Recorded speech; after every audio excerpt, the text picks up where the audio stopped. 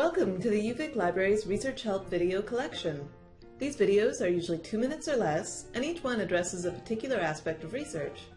We've broken them down into playlists for videos on how to find specific items, how to improve your research strategies, how to find your way around the library and the library website, how to use the programs and services we offer, as well as one describing some of those things you might hear instructors or librarians talking about, but you're not really sure what they are, and one with the best tips and two-minute lessons to make writing papers and everything else about school faster, easier, and way less stressful.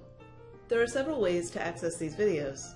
You can visit or subscribe to the UVic Library's channel on YouTube, or visit the Help Videos page under the Research Help tab of the library's homepage. To send in suggestions for videos you'd like to see, contact the Teaching and Learning Office in the McPherson Library. For more help, Visit the Research Help Desk or watch our videos on navigating the library website and embedding videos in Moodle.